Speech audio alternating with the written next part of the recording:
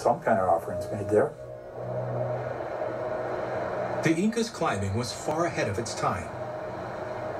They were the first to use modern mountaineering strategies, establishing camps at key points along their routes and braving the thin air to build ceremonial sites on more than 100 mountains above 5,000 meters.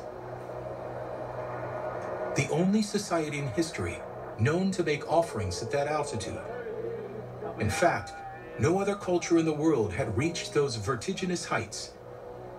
And after the Inca, no one would reach the summit of Mount Llullaillaco until the 1950s.